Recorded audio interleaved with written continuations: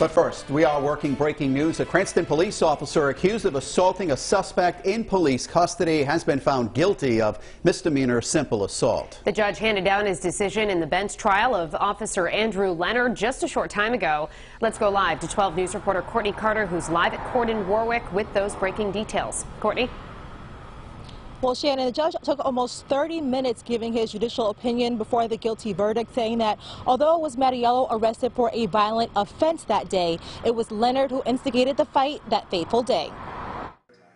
The judge giving the officer a scathing review of his behavior on the day the surveillance video was taken, saying he had multiple chances to walk away or behave differently, but chose not to.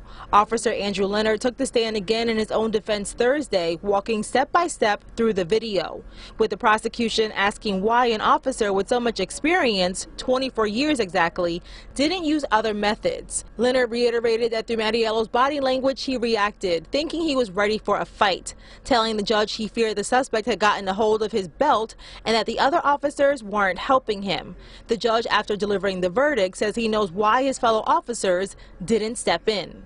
The testimony of the officers who were here uh, was at times gut wrenching. Now, the two officers, you can tell they're sick. You know why I think that they didn't engage? Because they knew what was happening was not right.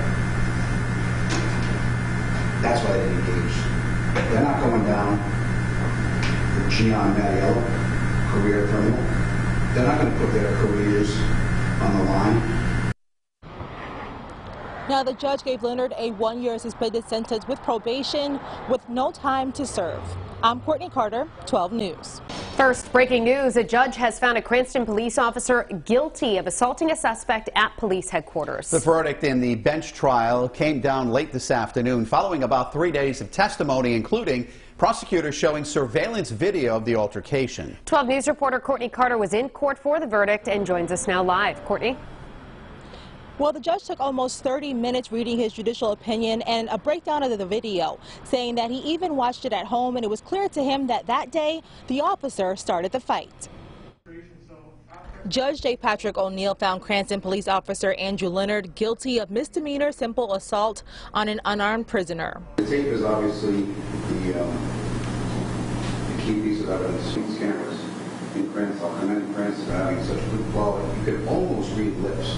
Earlier Thursday, Leonard took questions from a prosecutor going step by step over the surveillance video again. Leonard continued to say that the times he had the altercation with Mattiello, it came after the suspect reached for his belt, and that the two other officers failed to provide assistance to him. Right here on the bottom right-hand corner, that's Mattiello's hand, and that is my flashlight. Right. The judge gave a scathing report to Leonard saying he believed he had multiple chances to walk away but didn't. Also telling Leonard he knows why his fellow officers didn't help. Why I think that they didn't engage? Because they knew what was happening was not right.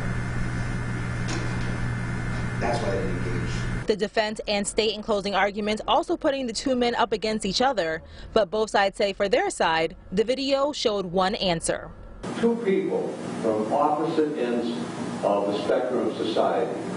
In that cell block, one of those two people acted better than the other. One of those two people acted legally, and it was the convicted felon. The judge gave Officer Leonard a one-year suspended sentence with probation with no time to serve. In Warwick, I'm Courtney Carter, 12 News.